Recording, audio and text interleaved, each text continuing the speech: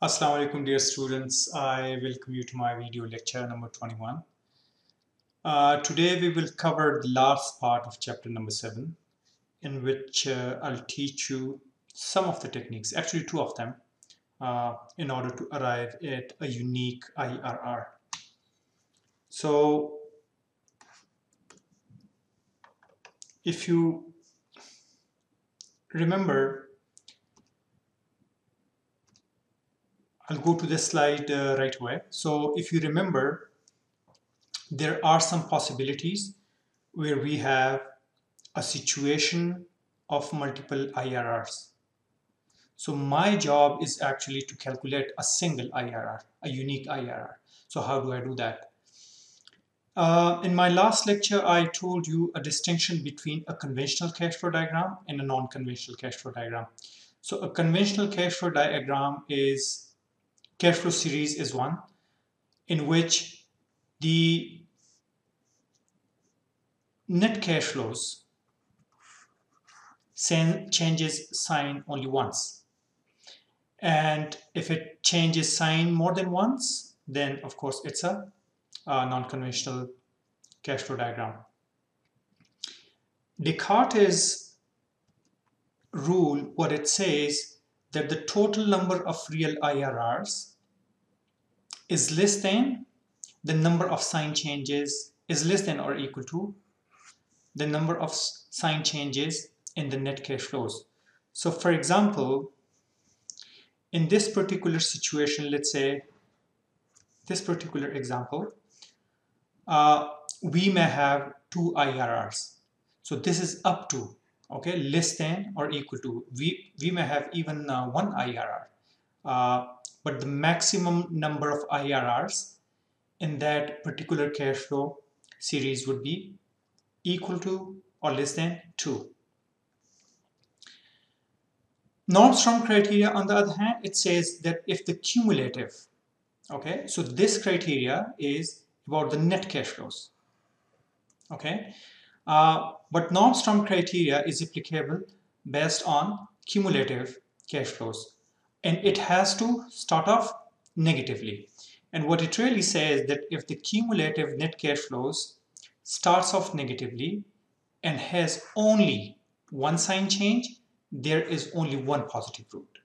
Okay, uh, and the book says that actually the Norstrom criteria is more of a discriminating uh, test okay so let's say if we have a situation of multiple IRRs it discriminates one um, IRR from uh, from another.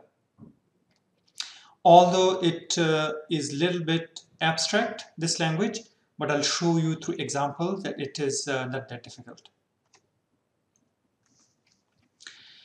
In my last lecture I told you that if we have a situation where we have multiple IRRs I have to apply some techniques and arrive at a single IRR. Okay, multiple IRRs does not help. The reason it does not help, it doesn't give me enough information which IRR should I use for my project selection. Okay, so if I have multiple IRRs, I have to use these two techniques, the modified rate of return and the return on invested, invested capital to arrive at a single uh, IRR.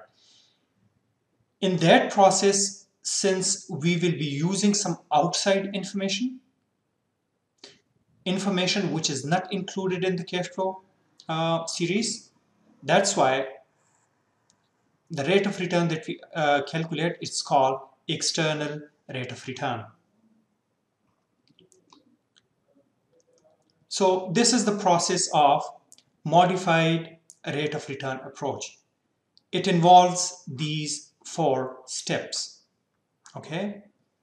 Uh, so the first step is determine PW in year zero of all negative CF. Okay. White PW, actually I will explain in, in my next uh, slide. Determine FW in year N for all positive cash flows. So negative cash flows will be brought to t equal to 0 okay and positive cash flows will be brought to t equal to n it will be taken to the end of the cash flow diagram why although I will explain it uh, in my coming slides, but let me give it uh, a little bit of introduction. So negative cash flows is the money which is going out of my pocket. So it's a cash outflow. Okay. For any project, cash outflow is a money that is going out of my pocket. So where is this money coming from? For example, this money is coming from a bank. Okay. So I am interested in how much should I borrow at t equal to zero so that I finance all the negative cash flows. Okay, that's why we are taking everything which is negative to t equal to zero. Okay, so please, uh, please pay attention to my words. What is the present value of all the cash flows, negative cash flows, that I need to finance at t equal to zero? Okay, for positive, the reason we take it to the end, what would be, so let's say any cash flow which is positive, it means it's a cash inflow. Once I have a cash inflow, normally do not, companies do not sit on those cash flows, they invest it. Okay, so if I invest a positive cash flows, what would be the return at the end of the project? So that's why I'm taking all the cash flows to the end.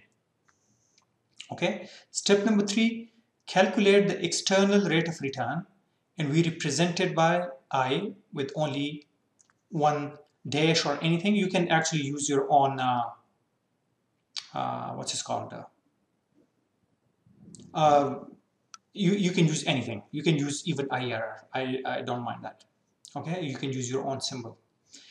Uh, and FW is equal to PW so if I convert a cash flow series into PW and FW, okay, I can find out a rate, okay, which is the external rate of return, so that at this rate, my PW is equal to FW, okay. So at what rate my converted FW is equal to my converted PW. Where is this conversion coming from? from step number one and step number two. Okay, decision criteria, just like uh, the criteria that we use for MARR. The reason is ERR is based on IRR, okay? So that's why we are using the same criteria. If it is greater than or equal to the minimum attractive rate of return, we accept that project, okay? Let's uh, solve an example and everything will be crystal clear. So for the net cash flow shown below, find the ERR by the modified rate of return. So it's a technique, okay? Method, if MARR is 9%, IB, which is the interest rate on the borrowings is 8.5%, interest rate of investment is 12%. Okay, so this is my cash flow diagram. Now, this is a cash inflow. Similarly, a 6,800 is a cash inflow. Okay, so this is the money which is coming into my pocket. So I would like to invest this money at II.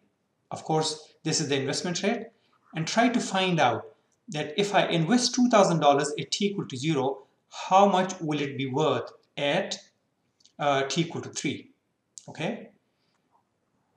But of course, I have to finance these 500 uh, minus $500 at t equal to 1 and minus $8,100 at t equal to 2. From financing, what, it, uh, what I really mean that actually I'm in a deficit situation. It's a cash outflow. Okay, so where is this money coming from?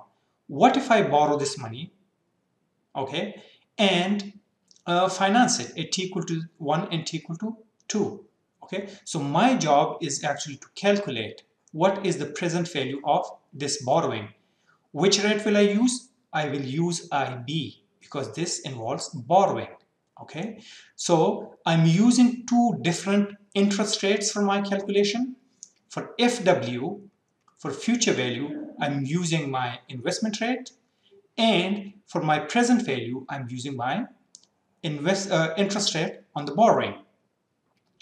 So PW, as I said, I will discount $500, okay, for one year, 8, 8.5, which is this uh, borrowing rate. And then minus 8100 uh, present value again for two years, okay. F3, on the other hand, I will compound, okay. So calculate the future value. From compounding, I mean calculating the future value. So I will calculate the future value of $2,000 for three years by using investment rate, which is 12% right here.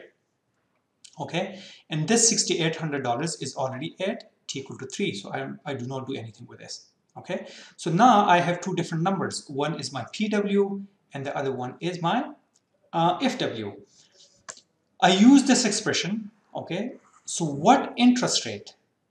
So what interest rate, okay, so this is I prime, okay, so this I prime is my uh, external rate of return using the modified uh, rate of return uh, technique. Okay, so what rate will equate my FW to PW? So it's a straightforward uh, equation. Um, we learned it in chapter number one actually. Okay, so plug all numbers and you have your external rate of return by using MIRR, which is modified rate of return, and the answer is 9.39.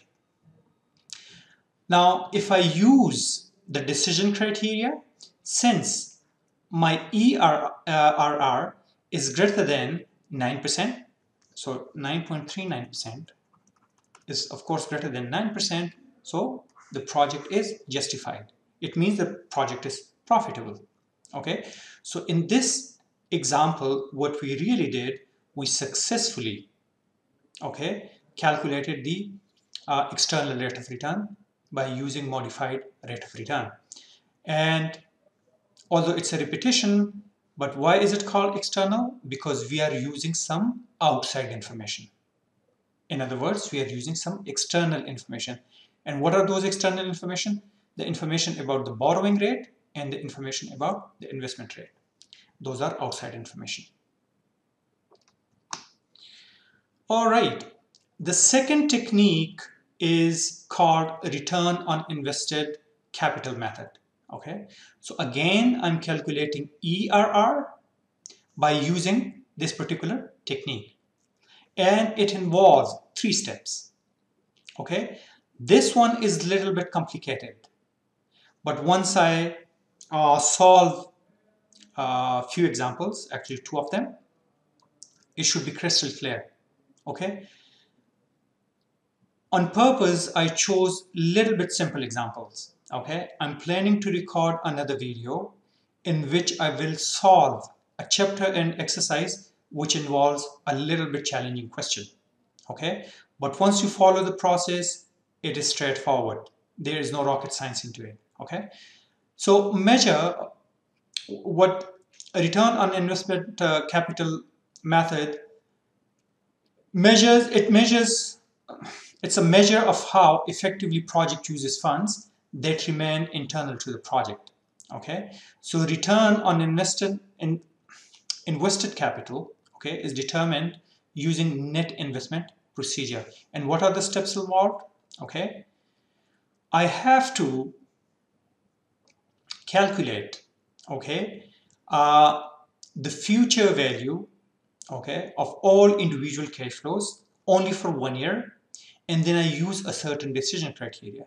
Okay, so this is the general expression and do not worry about this right now. Once I solve an example, you will be convinced that it is uh, straightforward. So what am I doing right here? I'm actually calculating the future value of my previous cash flow. So T minus 1 means that it's a future, sorry, uh, previous cash flow okay? So what i'm doing i'm calculating the future value. This is because this is the interest rate. So once i multiply anything with 1 plus interest rate it is just like calculating the future value of this cash flow okay? And then i add the net cash flow for that time period and then i use a certain decision criteria. If the ft minus 1 which means that if the previous cash flow was positive, okay, I use the investment rate, okay. But what if, let's say, the previous cash flow was negative? Then I use the return on investment on invested uh, capital. Okay, in some situations it's easy.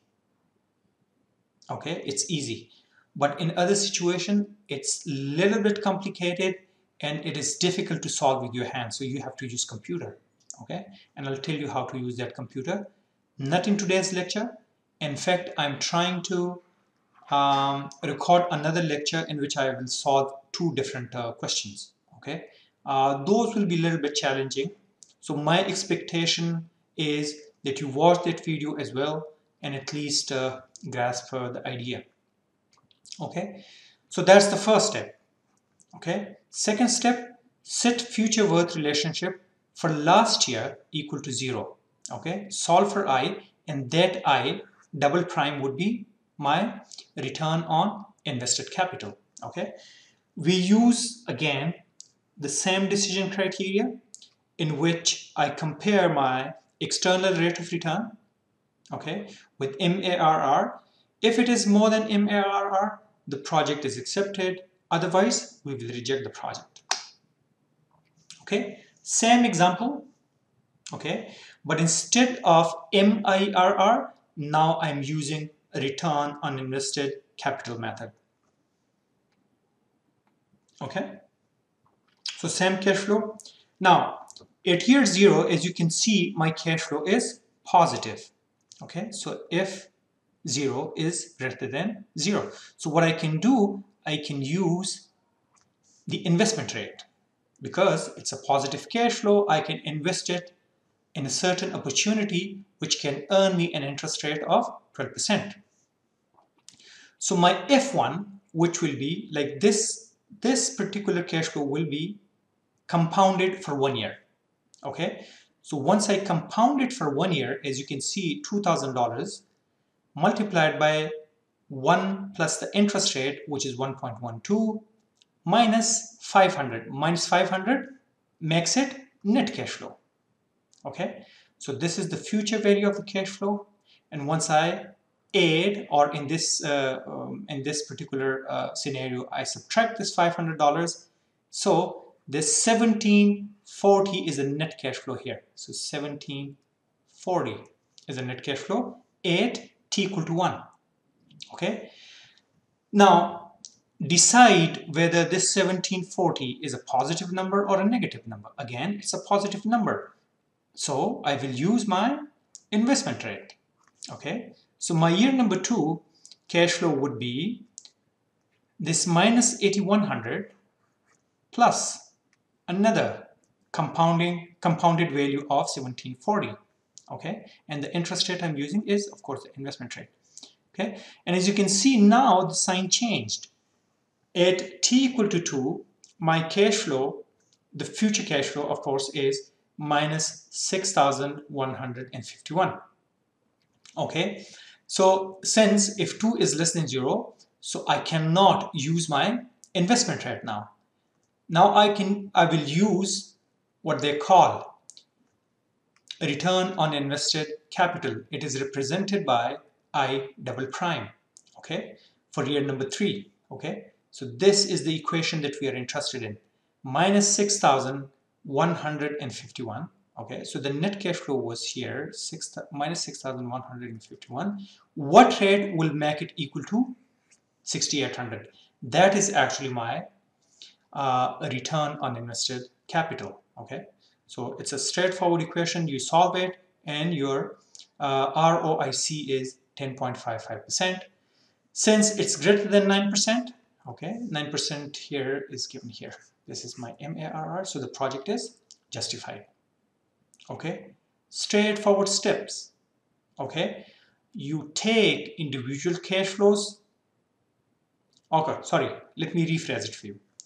You compound individual cash flows for one year find a net cash flow decide whether it's positive or negative okay so if it is positive you multiply it with you compound it with the investment rate.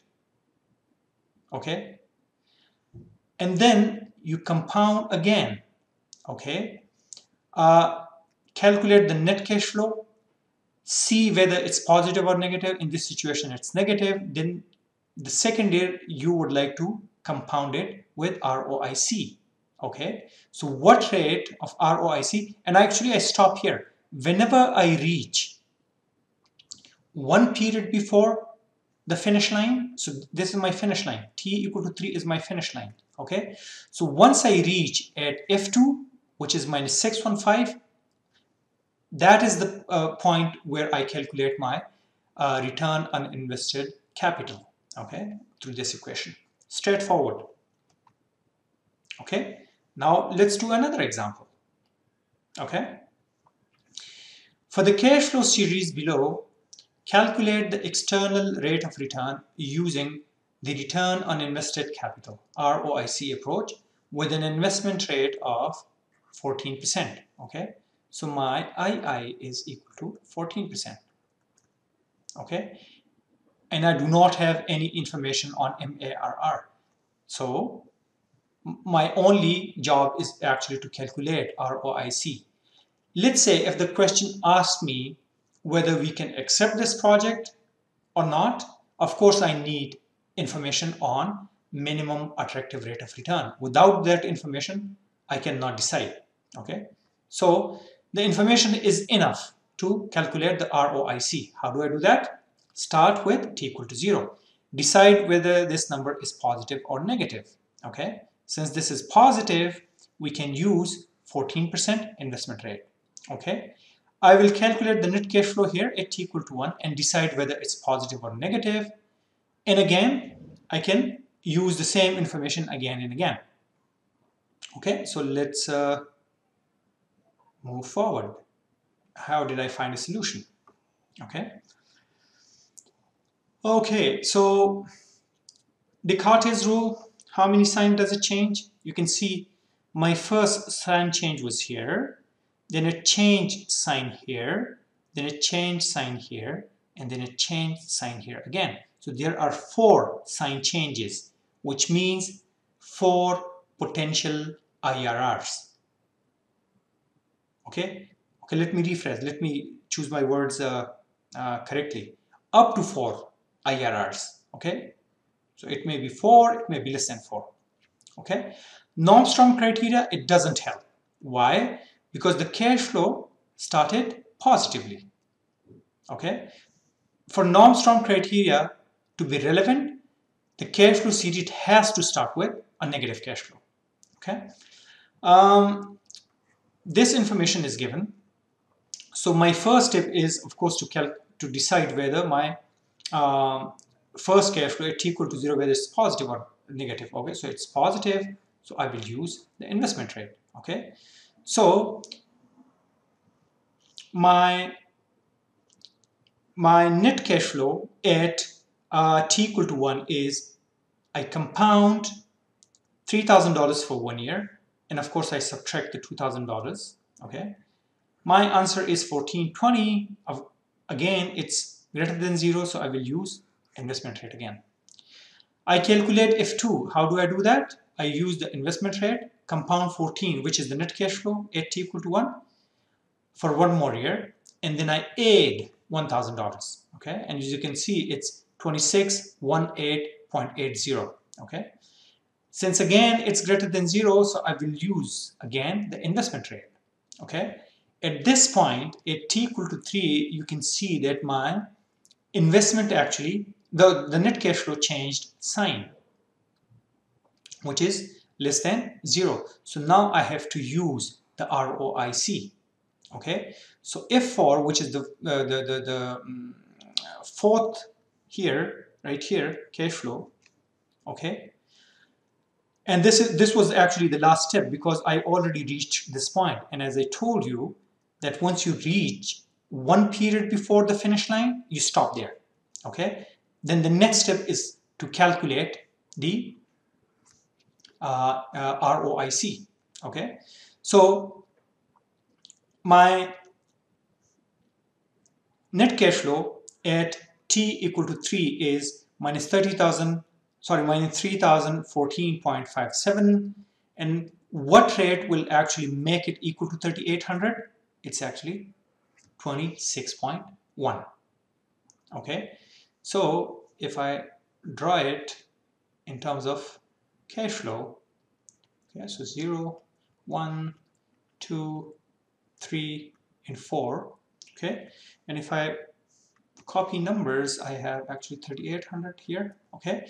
And by using step-by-step -step process, okay, I have a cash flow of 3014.578 equal to 3, okay? And it's a minus sign. It's a cash uh, outflow, okay? So what rate will make uh, minus $3,014, okay, equal to 3,800 dollars or what rate will actually help me recover my investment that's that's another interpretation of it okay it happens to be 26.1 percent okay so step by step process tomorrow what i'm trying to do is i'll choose as i said a few examples where let's say i have to use the ROIC somewhere in the middle because in these two examples uh, the one step before actually changes sign. What happens, let's say, if it changes sign here? Let's say if it's negative here, what happens? Okay, so I'll show you those examples. Though they are a little bit complicated, uh, but with computer help, they are uh, easy to solve. Okay, um, in my previous lectures, we talked a lot about uh, bonds. Okay, so bonds it's a it's a debt instrument okay why do we call it debt, debt instrument? Because if you are financing a project um, you have two different options in sim of course in a simple world okay? Either you finance through equity you finance your project through equity or you finance through debt okay? Debt can be a bank loan or debt can be through bonds okay? That's why it's called instrument okay? Um, debt in finance literature it's called fixed income security okay? Because the income attached to these instruments they're fixed. They're already on a piece of paper okay? So let me show you. Let's say there there are no physical uh, bonds these days okay? Everything is what they call exchange traded. Everything is traded in a capital market. For that, you do not need any paper security. Like for example, if you would like to buy any shares on Karachi Stock Exchange, okay, you do not get any paper shares, okay? So no paper securities anymore. Uh, but at one point in time, those bonds had uh, paper security. So this was a typical paper security bond, okay? As you can see, this is the issuer.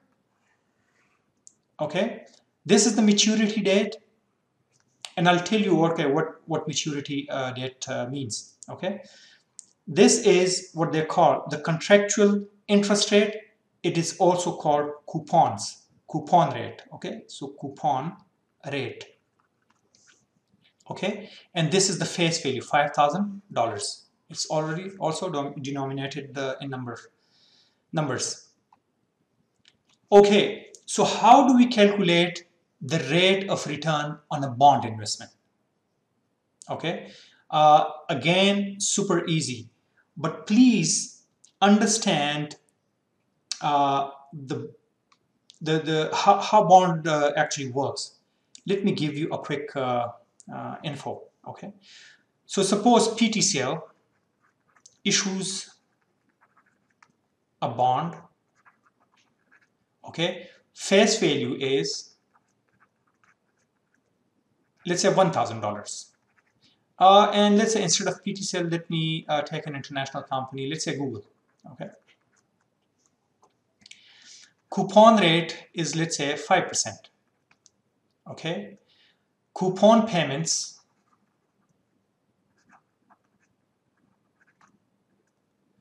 are let's say semi annually Okay, so two times in a year. Okay, uh, bond has a maturity of, let's say, five years maturity. Okay, for the sake of simplicity. Okay, so this is the way a cash flow associated with this bond will look like. Okay, so year number one, so this is zero, year number one, two, three, four, and five. Okay, so somebody buys a bond. Okay, at what price? It really depends on the market. I'll explain it to you. Okay, but somebody buy, buys a bond here, and let's say they pay P. Okay, the bondholder so let's say if I buy that bond, the bondholder is entitled to the coupons. Okay. So the income associated with the bond is 5%, 5% of the face value. Okay. And it is paid twice in a year. Okay. So in one year, it is 50. In half year, on half yearly basis, it will be 25. Okay. So 25 here, 25 here, again 25 25 25 25 so on and so forth okay?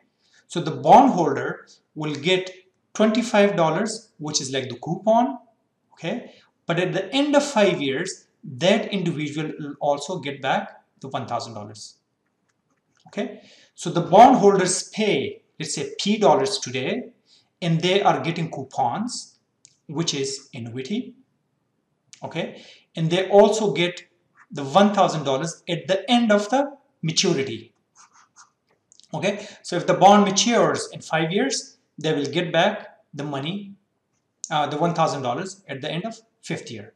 Okay, um, some bonds, although it will be a little bit uh, on the side tracks, but some bonds are called perpetual bonds.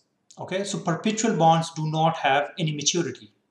Okay? So they are traded on the market just like shares. Shares do not have a specific life okay? So bonds uh, sometimes they are they have perpetual maturity so they do not uh, mature okay? So the, uh, the the the bond holder keeps on getting the $25 after six months okay forever okay? Uh, and let's say if the um, if the bondholder would like to sell it they can certainly settle sell it uh, in the market okay? So let's not go into that uh, detail.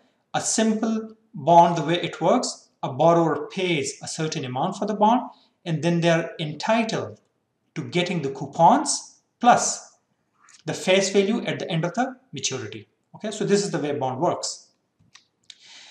Now bond is a method of raising capital. Okay? Funds by issuing IOU okay? So this is IOU so let's say if I issue a bond I owe you I have to pay you some money okay so it's a debt instrument with face value V coupon rate B okay so this is like uh, this is the way we represent uh, these bonds uh, number of payments payment periods per year C so in my example, it was actually two. So per year, the number of payments were two. Okay. Uh, dividend or interest. Uh, normally, it is called the uh, coupon actually, the coupon rate, not even the interest. Okay. And the time to maturity N. Okay. Amount paid for the bond is P. Okay. So what would be my coupon payment? It would be my uh, face value, which is V multiplied by B, okay, which is the coupon rate, and divided by C. Like in my example, it was $1,000 multiplied by 5% divided by 2. So that's why it was 50 divided by 2, which is 25. Okay, so the general equation, the way it looks like is what rate, okay, so as I said, this is the way the cash flow associated with the bond looks like. Okay, so 0, 1, 2, 3, 4, and 5. Okay, and these are the cash flows. So this is my AS, my annuity. Okay, and then I have a face value, which is here, right here, V. Okay, so I discount all A's, which is here, okay, by uh, through a PF factor, okay.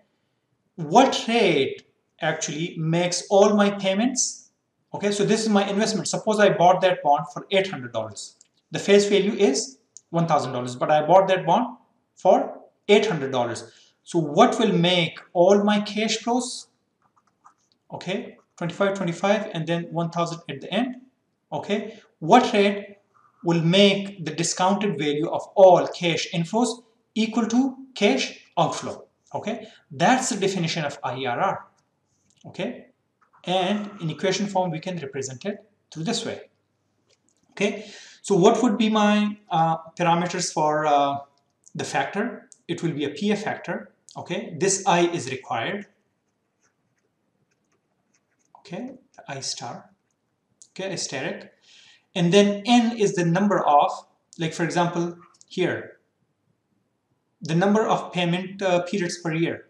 Okay, and then, uh, sorry, this is the maturity. Okay, and then the number of payment per year is um, C. Okay, so let's say if it's a 10 years bond and you're getting coupons twice a year, so you have a total of 20 coupons. Okay, uh, and then same parameters for the, the, the face value. Okay.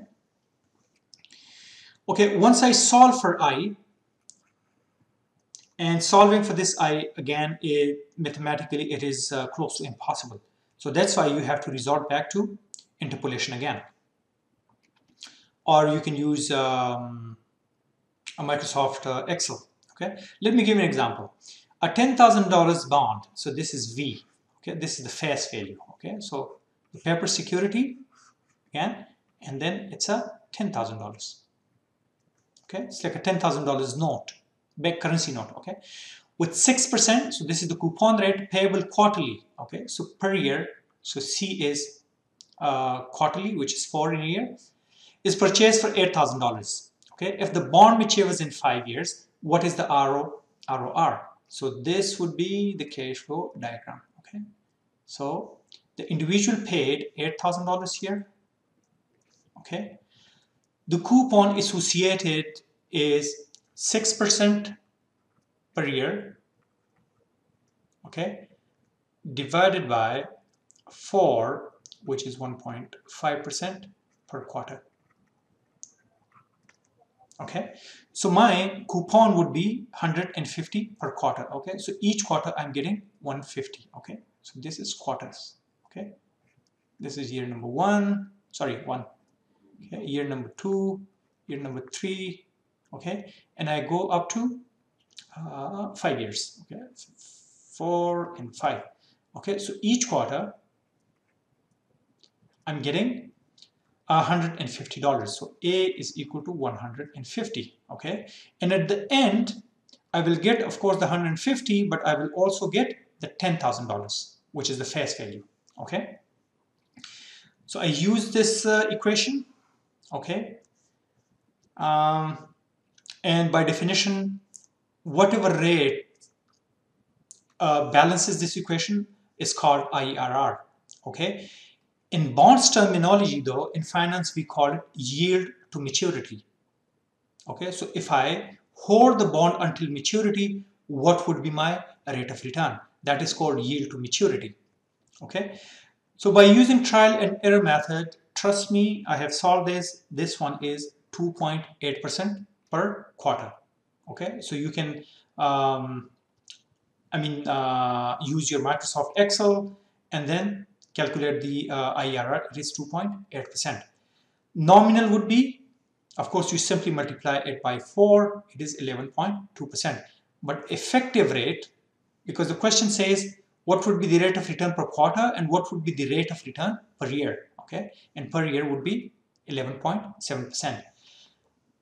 Whenever we are talking about interest rates, we are talking about effective interest rates okay IRR is the effective rate It is not the nominal rate. So that's why I'm converting this into effective rate. This step, honestly, we do not need it. You can straight calculate the effective rate. Okay, uh, let's uh, solve another example. So Allied Materials need $3 million in debt capital for expanded composites manufacturing. It is offering small denomination bonds at a discount price of 800 for 4% $1,000 bond debt matures in 20 years with a dividend payable semi-annually. Okay, dividend. I'm not very convinced actually about this uh, term because dividend is normally paid on shares. Okay, I would call it coupon. Okay, this is more a finance language. Okay, what nominal and effective interest rates per year compounded semi-annually will Allied Materials pay to uh, pay to investor? Okay, so okay, let me tell you something else. Although, so as I said, bond is just like a paper security. Although we do not have paper securities anymore, they are all exchange. They are all traded on exchanges.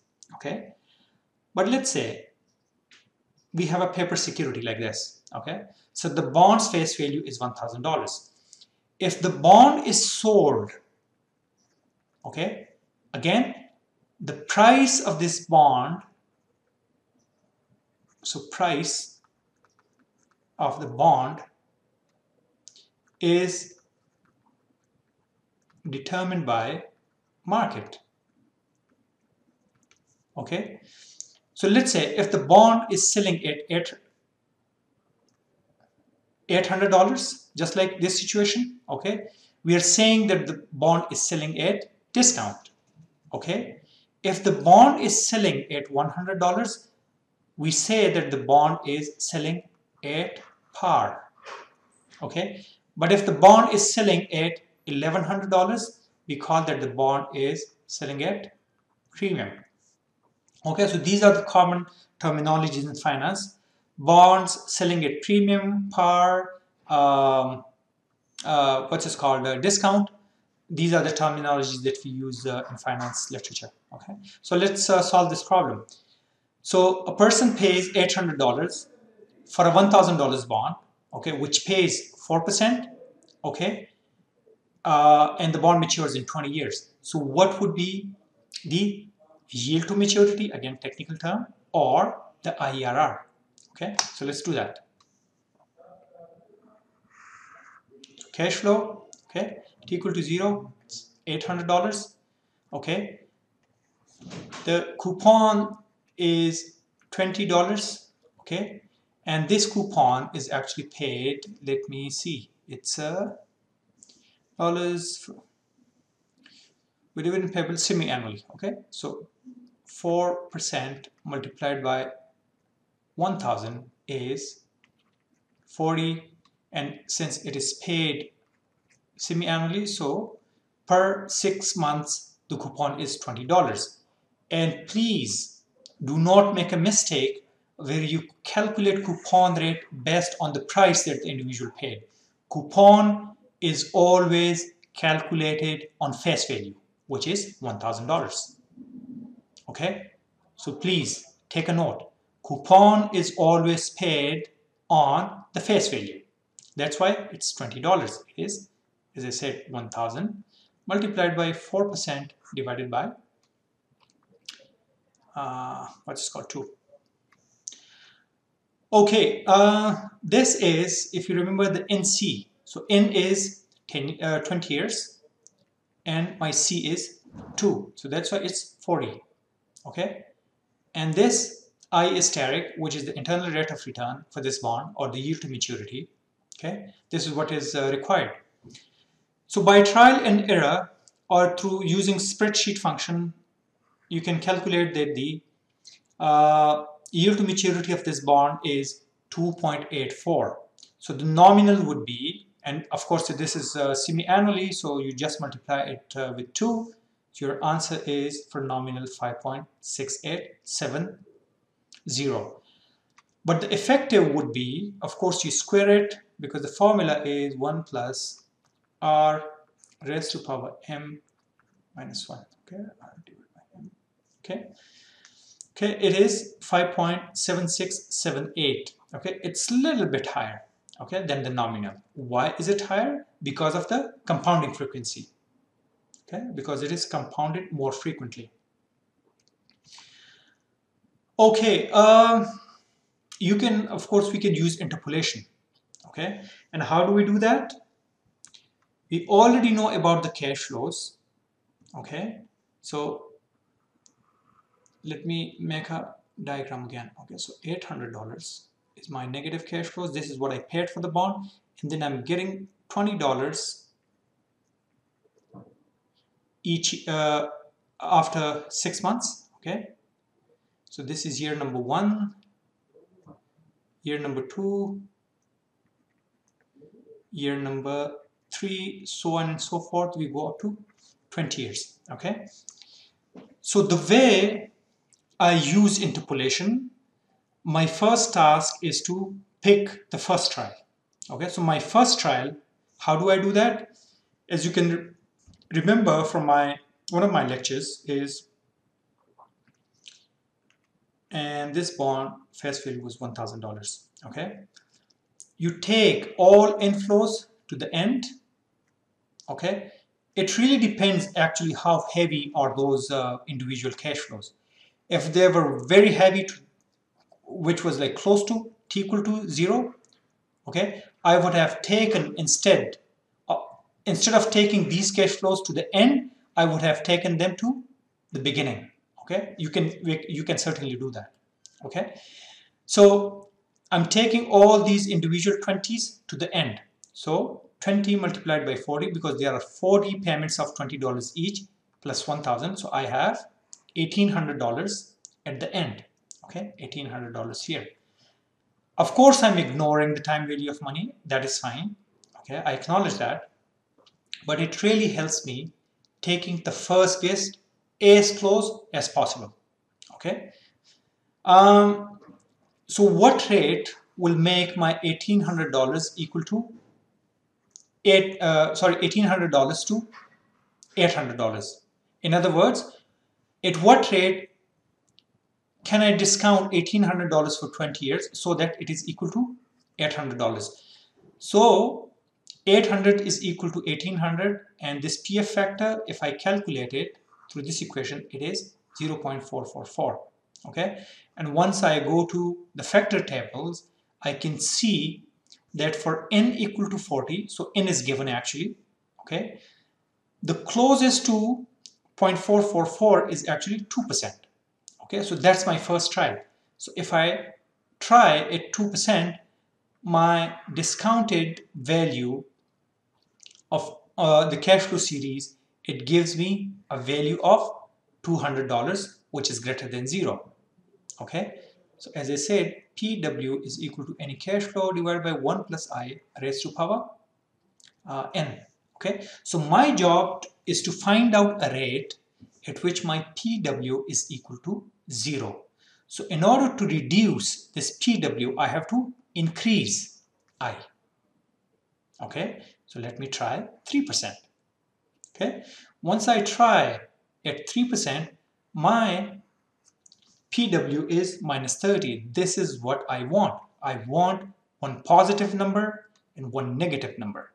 Okay, so as you can see, my the rate at which my PW is equal to zero, that one is called IRR, okay? Or let's say you can call it I static, okay? So at 2%, as I calculated earlier, my PW is 200 and 3%, it is minus 30, okay? So part divided by whole, part divided by whole. So this is the difference, the 200.01 is the difference between 2% and the, uh, the, the, the, um, the rate at which PW equal to 0 and then this whole which is 230 it is difference between $200 and minus 30 which is 230.45 it is the whole. So part divided by whole equal to part divided by whole. My x is equal to 0.87 so my IRR or you can call it yield to maturity or I whatever okay is 2.87 straightforward uh, today's lecture although it sounded a little bit complicated but honestly if you look at uh, the whole material closely it is super simple. As I said I will record another lecture. Although it will not be part of the quiz so do not worry about that okay? It is only for your own knowledge. And of course I may give you um, I may test you actually uh, on this material in the final exam. So I'm not saying that this is irrelevant but what I'm saying is that my next lecture will not be super important for uh, will not be important at all actually for uh, for, for the quiz. Okay? So I will record another lecture with the two more questions. I'll pick them from uh, the chapter end and uh, once I solve them for you you will be convinced that the material that we covered today is not that difficult. I thank you very much for your attention. If you have any questions please do not hesitate uh, to send me those questions through my email. I wish you all the best and have a wonderful day